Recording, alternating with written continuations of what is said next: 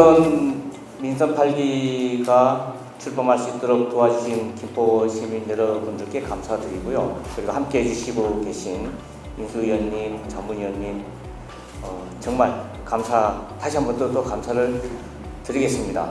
어느 때보다도 시민들이 체감할 수 있는 그런 인수위의 어떤 활동 내용을 어, 나중에 추후에 보실 수 있지 않겠느냐 그런 기대를 가지고 있습니다.